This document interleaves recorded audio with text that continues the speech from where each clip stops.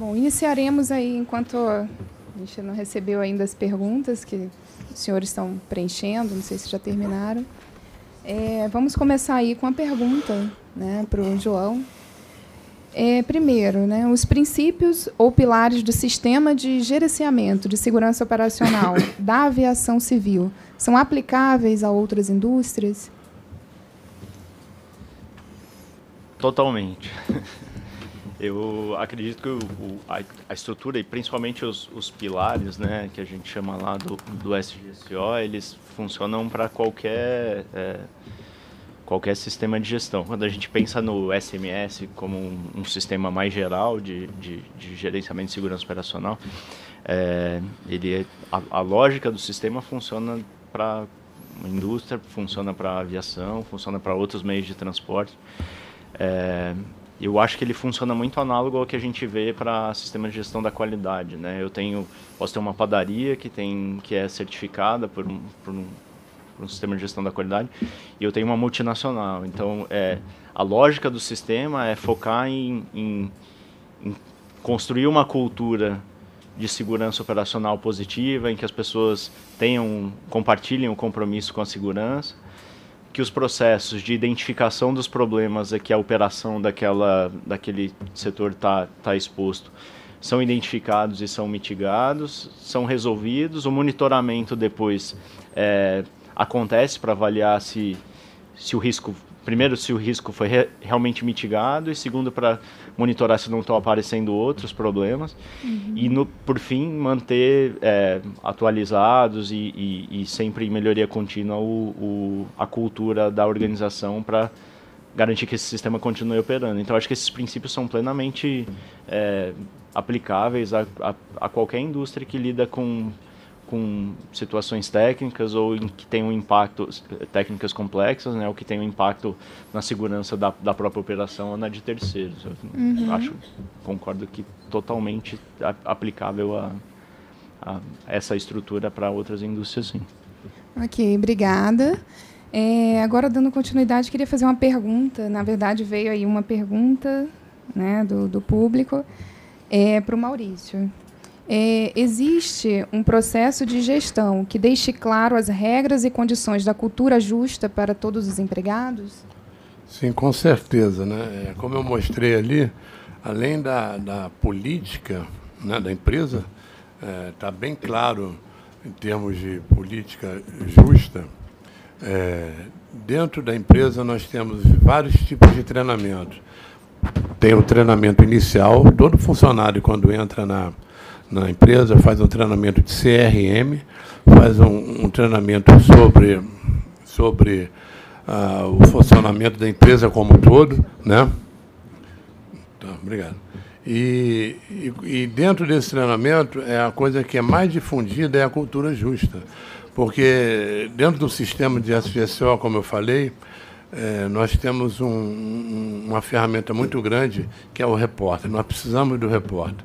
Só que acontece o seguinte: é, eu vou continuar falando, isso é uma coisa que até o colega ali, ele tem que, da ANAC, ele tem que nos ajudar muito a isso aí, porque a gente tem alguns programas que não são exigidos pela ANAC, mas a gente já está aplicando, de, já vendo que o problema é sério, né? É, com relação ao, ao, ao incentivo do, da política de não punição, né, que é a cultura justa, é que todo réu prévio ele não precisa ser identificado. Tá? A pessoa faz o relato porque não precisa. Mas como eu já falei, por exemplo, o aeronauta, o piloto, ele bota matrícula, nome, nome do pai, nome da mãe, porque ele não está nem aí. Ele quer reportar o problema dele e ele sabe que ele não vai ser punido por conta disso. Ele reporta, às vezes, até um colega, já vi copiloto reportando comandante, é, reporta o supervisor dele, e ele bota lá porque ele quer ação. Já dentro da manutenção, é o tipo de, de, de, de, de medo ainda que impera, apesar de, por mais que a gente faça a cultura justa, é o medo de ser punido, da punição. O mecânicos existe essa cultura. Né? Quer dizer, então a gente está tentando muito focar junto aos mecânicos, aos técnicos de manutenção, esse programa de não punição. Mas para quem me perguntou, digo, existe sim, é bastante divulgado dentro da empresa. Ok, obrigada. Bom, agora vamos, né, pergunta aqui para o João. É, a pergunta feita Ah, desculpa, só colocando a pergunta anterior, né, feita ao Maurício, foi do Wagner Felício de Oliveira, da Petrobras. Obrigada, Wagner. Bom, agora a Juliana Ferreira, da Aparan. Aperam. Obrigada. É, como podemos mitigar os riscos em situações de causas específicas, visto que nas causas comuns podemos regulamentar? E como os fatores humanos, como os fatores humanos podem interferir ou contribuir? É, só é, primeiro na, na, primeira parte da pergunta, né? Eu acho que as ferramentas que a gente tem para em relação a, a, a, criar barreiras adicionais do, de, de, riscos a que a gente está exposto, elas são várias, né? A gente pode é, normalmente a gente na agência considera aqueles três grupos padrão é, você pode criar procedimentos, você pode ter alguma apoio de tecnologia e, e treinamento. Eu acho que você consegue dentro desses dessas três grupos gerais aí de ferramentas você pode ter várias formas de, de implementar ações para mitigar riscos específicos. Então, se você tem um problema particular lá na, na sua empresa, dependendo do nível de risco, você vai ter que é, implementar soluções mais robustas para eventualmente até é, eliminar aquele risco ou mitigar os efeitos que ele vai ter na sua operação. Então, essas três formas são, são formas que, que são as, as padrão aí para criar é, defesas em relação àquele risco. Então, tecnologia, cria algum sistema, um, um controle específico ou um procedimento adicional e, e aí, em relação a essas duas coisas, você vai implementar os treinamentos que você precisa para aquelas pessoas envolvidas terem o conhecimento de como proceder naquela, naquela situação. É, o, acho que essas são as formas padrão, assim. E é claro, e, e aí acho que até a, a, o comentário ali é como a gente às vezes não sabe a priori quais são os riscos específicos, né, que a gente está comentando dessas as causas específicas de acidente, às vezes eles são muito particulares de um contexto. É importante que você tenha a organização toda sensível a reportar. Às vezes só quem tem um conhecimento daquele é, perigo ali, daquele potencial é, impacto na, na segurança da sua operação é a pessoa que está lá na ponta. Então você tem que ter uma, uma rotina e um mecanismo que incentive que essas pessoas é, reportem, porque para implementar as ações de mitigação vai ter que primeiro saber que elas existem, né? Então é, é importante incentivar esse tipo de relato. Ok, obrigada. Bom, agora para o Maurício. É, as práticas de gestão para atender o mesmo requisito do SGSO são iguais entre as empresas aéreas no Brasil ou são customizadas por estas? É, o sistema do SGCO ele não é engessado. Ele tem todos aquela, aquela, aquelas, aqueles capítulos, né? Mas a, a ANAC e o próprio SMS, né, que é o, a origem de tudo, não ingessa o sistema. É lógico que a gente tem que seguir certos padrões. Eu não sei quem fez essa pergunta, mas a gente tem que seguir certos padrões. Né? Tem que cumprir todos os regulamentos do SCGCO. Mas não é engessado. Cai na empresa, ela, ela faz o, o tipo de, de gerenciamento da melhor forma. O banco de dados de uma empresa não é o mesmo que o outro né? Uhum. As políticas, os programas de prevenção, os plantores de fatores humanos, a Azul tem as delas, a Gol tem as delas também, que são alguns fatores, eu conheço os programas deles e são um pouco diferentes do nosso, mas tudo canaliza para para o mesmo objetivo, né? que é atender os requisitos do SGCO, mas não são engessados, não. Uhum. Sim, sim, é, puder complementar, dentro da aviação mesmo, a gente vai ter dentro das empresas aéreas, a gente todas são, são muito bem estruturadas e com, com mais recursos. Mas a gente aplica o SGSO para instituições menores, né? operadores da aviação agrícola, por exemplo. Às vezes são empresas menores, com menos recursos, ou instituições de instrução, às vezes. Então, a, a lógica, o sistema e a efetividade do sistema que a gente espera ver quando a gente vai ver é, é a mesma. O, a, os, os, processos que a gente espera que estejam implementados são os mesmos. As ferramentas vão mudar muito e a quantidade de recursos que cada instituição vai ter para implementar. Então, é, é, acho que, de novo, né, é muito análogo à gestão da qualidade. A gente pode ter ela implementada com ferramentas simples ou complexas e, e, e ambas atingindo os objetivos finais. Vai depender da, do recurso que você tem para implementar e da, da avaliação de se você consegue ser eficaz com menos recursos, excelente. Não é isso que a agência vai, vai entrar para determinar. Você precisa usar tal ferramenta, você não pode usar um Excel para ter o seu é, gerenciamento de perigo. Se você consegue demonstrar que você gerencia o seu sistema com uma ferramenta mais simples, para a gente é ótimo. A gente não quer engessar demais mesmo. Uhum. Bom, então é, agora temos uma pergunta, né? Ainda para você, João. Lucas Fontes, da Aperam. É, ele queria saber o seguinte: há tempos existe uma busca incessante na indústria para o zero acidente. Este assunto é muito debatido e nos trouxe novos comportamentos, mas ainda de forma geral, estamos com frequentes ocorrências na indústria. Como a ANAC conseguiu zero acidente sem ter a meta zero? Pergunta interessante, né? Eu, eu acho que é, Maurício comentou aí no início de, da, da dificuldade de da gente colocar uma meta zero, né? Eu acho que e, e se isso reflete com um nível de segurança. É, eu acho que o principal, é, o resultado, eu volto na, na discussão do, do, resultado, eu acho que ele é uma consequência, você precisa monitorar os indicadores para garantir que os seus processos estão é, implementados e estão funcionando, seus, seus controles estão sendo efetivos, mas se você deixa para monitorar em cima de de indicadores reativos, né, aqueles que estão lá no fim da linha, eh, você não vai conseguir monitorar e avaliar aqueles precursores que talvez já te tragam informações relevantes para para você atuar antes de esperar com que o evento aconteça. É, e, e, realmente, é, eu volto lá, os indicadores do, da aviação civil brasileira, eu acho que não são resultados da ANAC, né, são resultados do sistema como um todo. Eles são muito positivos porque eu acho que todos os atores do sistema trabalham com essa, com essa mentalidade de tentar não esperar que um que acidente aconteça para ir buscar e resolver o problema que contribuiu para aquele acidente, mas tentam identificar os precursores que podem eventualmente numa, num cenário é, específico em que eu tivesse várias situações acontecendo em paralelo e que aquilo fosse contribuir para o acidente, eu não espero que esse acidente aconteça. Eu já tento atacar esses precursores quando eu identifico que eles estão presentes e muito trabalhando de forma colaborativa, né? Não é a agência fazendo uma coisa, uma empresa fazendo outra, outra fazendo outra. Existem ferramentas dentro do sistema de aviação civil brasileira para que todos esses atores sentem, conversem, tanto os reguladores quanto os, os as empresas, né? Os, os operadores sentem e discutem esses potenciais problemas, coletem dados, as empresas trazem os dados das suas operações, indicadores que podem, que são é, precursores de eventualmente um, um possível ocorrência e já trabalham de uma forma forma mais proativa para atacar. Uhum. Eu acho que isso tem, tem sido efetivo, é, mas, de novo, a gente não pode ficar parado, acho que a gente tem que sempre buscar, se os, se os maiores riscos foram mitigados, a gente passa a atacar os riscos não tão grandes ou médios aí do, do sistema. Eu acho que, e esse trabalho conjunto é que, que eu acho que tem gerado esse resultado positivo. Ok, obrigada. Bom, Maurício, a Samira Nagem não sei se falei certo o sobrenome. falei.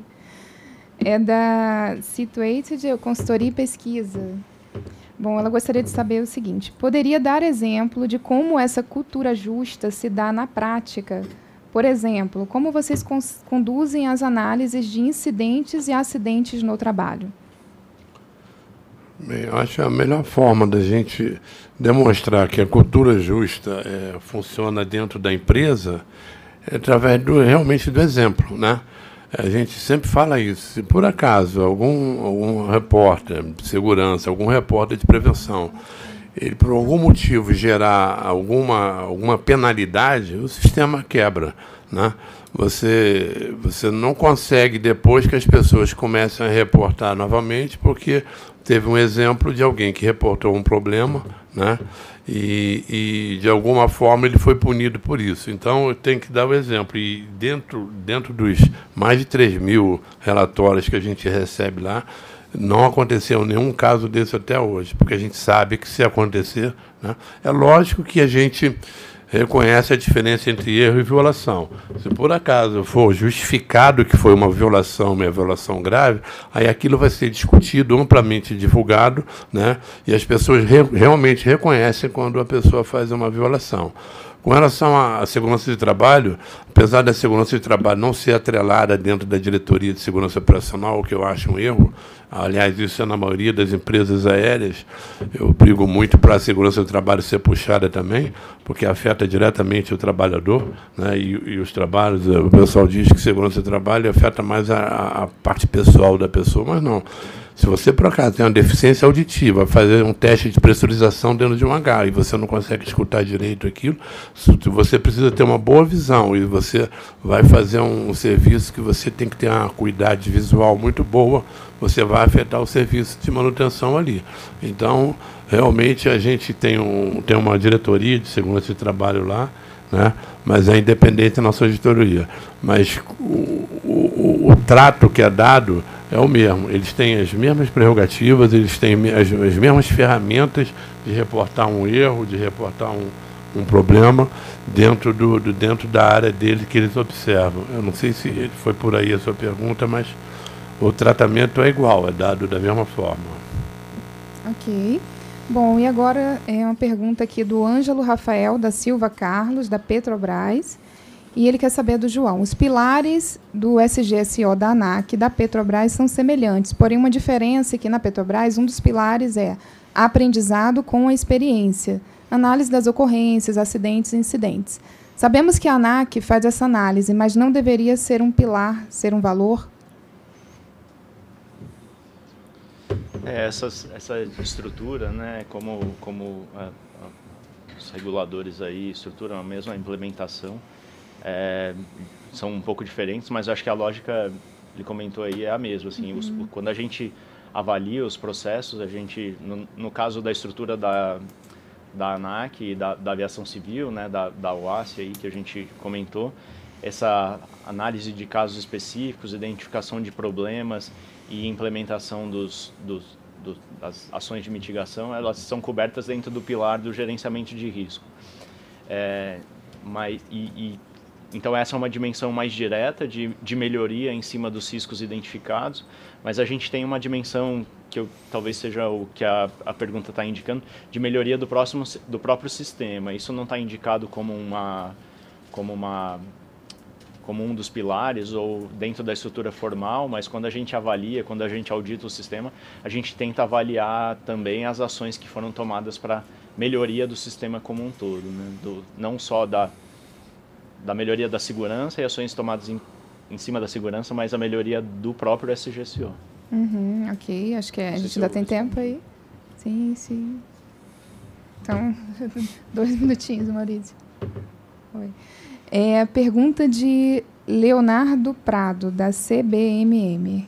Dentre os fatores humanos, quando começaram os trabalhos com esse tema, quais os fatores ou gatilhos que mais influenciam nos erros praticados pelos empregados e como tra tratar isso? Bem, o fator humano como um todo, né, é um trabalho que a gente já vem desenvolvendo há bastante tempo, né, e o que induz normalmente o erro é, a gente mostrou claramente aqui, são aqueles 12 vilões, né? É, o estresse, complacência, né? O que é, complacência? Você, de repente, você achar que sabe fazer aquilo ali, você dá uma relaxada e faz, né? É, a parte de, de, falta de trabalho em equipe, né? A, a, a, outra coisa que leva muito ao, ao, ao erro é, a pessoa não identificar que não está se sentindo bem. E o próprio gerente dele, o supervisor dele, também não identificar. Né? Às vezes a pessoa teve um problema sério em casa, um problema de família, um filho, alguém no hospital, alguma coisa assim, e vai trabalhar. Chega lá, você sente que a pessoa não está bem, o supervisor bota ele para fazer uma tarefa, complexa. Né? Aí isso pode gerar, com certeza, uma falha humana, um erro humano. Por que não observar, ter a capacidade de observar né, o estado emocional daquele funcionário? Não, tu hoje vai ficar fazendo revisão de manual, ou você vai trabalhar na parte burocrática, e de, ou então libera o cara. Né? O mais certo seria liberar o cara. Né? Mas a gente ainda está longe disso que, ao meu ver, seria o mais correto. Né? Mas a gente ainda chega lá. Então é isso. O, mas, mas o mais importante são aqueles 12 fatores, aqueles 12 vilões ali, que são os maiores contribuintes para o erro humano. Uhum. Ok. o tempo agora está esgotado, mas é, eu gostaria de dizer que essas outras perguntas serão respondidas por e-mail, tá? Então, acho que todos preencheram o e-mail aqui. Ok. Bom, e agora é, gostaria de agradecer né, é, por essa oportunidade aí né, que tivemos de agregar conhecimento, né, de estar tá contribuindo aí nessas todas as empresas aí dos diversos ramos. Bom, agora eu gostaria de entregar para os senhores o, o brinde. Opa. Em nome da UBQ. Você está aqui, Não, é tudo igual. Cadê o teu papel? Isso aí é para você ter segurança no seu notebook. Opa! Ó, e é feito Falando com cinto de segurança. segurança, hein? Olha, que espetáculo. Muito obrigado. hein? De nada. Tá tá bom. Acho que é onda da gente depois.